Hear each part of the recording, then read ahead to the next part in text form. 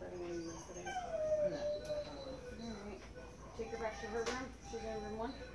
No, got to do an airplane. You can use that syringe that you have there.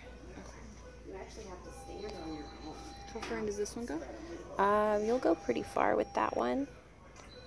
Just until it stops? Mm, pretty much. You feel kind of like a resistance, so you're going over the prostate. Push a little bit over the prostate.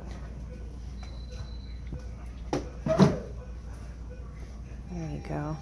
And you should start to get a little urine coming from it.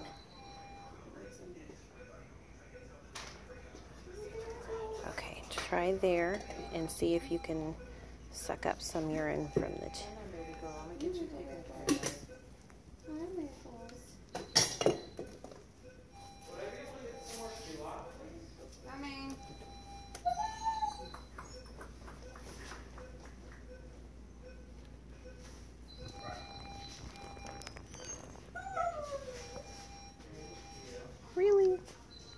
From this guy? God, he had a giant bladder too. He peed all in his kennel this morning. He peed even more when I brought him out. Should I go a little bit further? You can try. Um, and then maybe even try backing out a little bit to see if you get anything.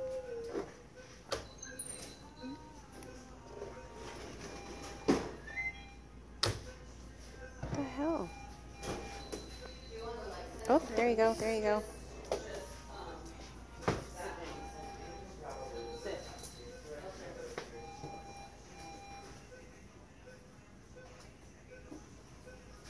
How much is usually collected?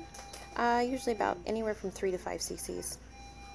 I have a lot of air in it, so Go ahead and unhook it from the syringe and then just tip it up so then you don't lose your pee. There you go.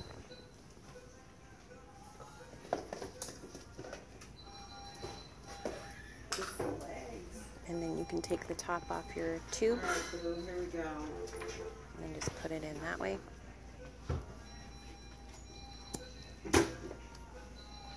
The one that's on the table, if the list does it need anything? Um, I think her injections are next to her. Okay, but like vaccine wise? Five and one and a rabies. They should be right next to her.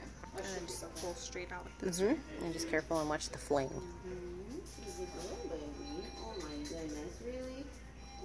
So perfect?